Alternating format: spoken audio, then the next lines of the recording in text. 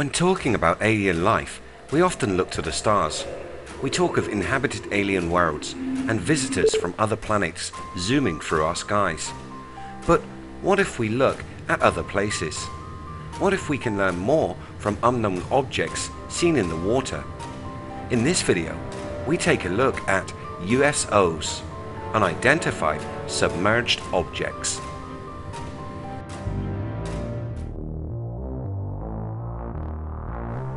Welcome to IF, videos on mystery and history. Hit that subscribe button and ring that bell to never miss a video again.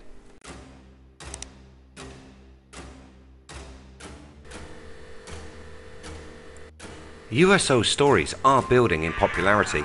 The sightings of strange craft jetting through bodies of water and easily passing between water and air are on the rise. These events and objects are, however, not a new phenomenon. One of the first incidents occurred in the 15th century and involved, of all people, Christopher Columbus. Columbus, on his journey to North America with his crew, made the claim of seeing a glowing, pulsating ball of light beneath the ocean's surface. This orb then rose through the water, broke the surface, and jetted away through the sky. And remember, this would have been a time before manned flight, so seeing such a sight would have been very memorable. This sighting was not likely a fantasy of those on a long sea voyage, as Columbus faced punishment for telling his tale. This punishment not so much for saying he had seen a USO, but for reporting it looked like a menorah. Explanations for these submerged lights come in a variety of forms, from bioluminescent sea creatures like giant squid and jellyfish to astronomical phenomena such as ball lightning. More modern sightings make the claim that they are secret government technologies and underwater military bases. The latter being very possible, but this fails to explain the older sightings like Columbus.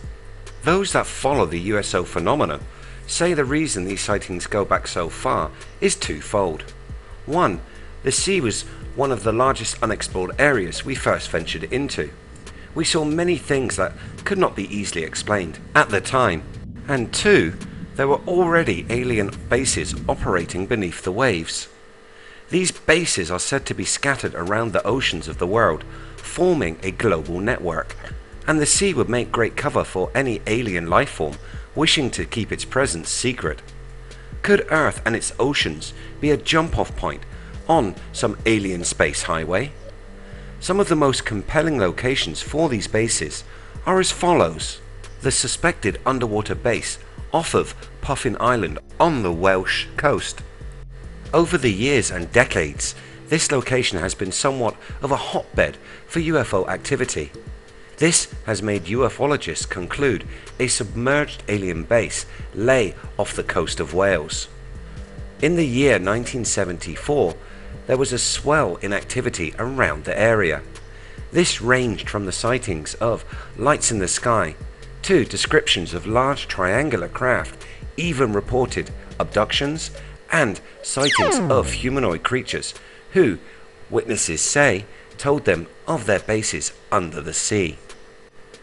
Recently, UFO activity has been downplayed, stats showing a decrease in reported sightings. These sites, however, contradict this research, with an 80% increase in activity at these sites worldwide. These aquatic occurrences are not only confined to the oceans, Lakes and inland bodies of water also play host to suspected subaquatic bases. The crystal still waters of Lake Titicaca border Peru and Bolivia. They are the highest navigable waters in the world and have also been a site of much UFO activity. There have been claims that the lake hides an ancient alien base. The native peoples of Tiwanaku give offerings to these aliens in the lake. These in the form of gifts of gold, stone statues, corn, and other valuable commodities.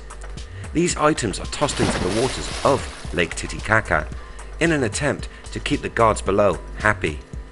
Tiwanaku is one of the most ancient civilized sites in the world.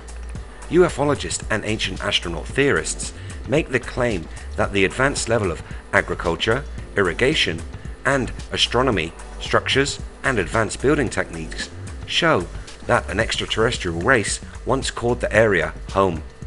There has been the discovery of many texts and statues found near the lake, these depicting ancient Mesopotamian underwater gods.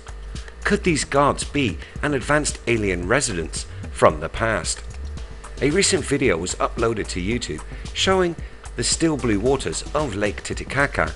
Then, what appears to be a large submerged object is seen slowly making its way from the shore. It appears to be disc-shaped and solid.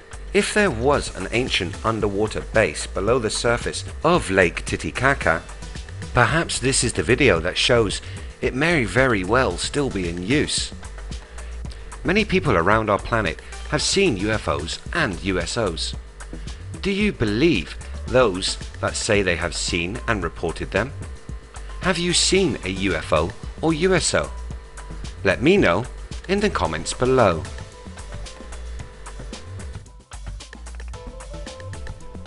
If you enjoy what we do here on the channel, please hit that subscribe button, like and share. You can find us across social media by searching We Are If. Thanks so much for watching. See you next time.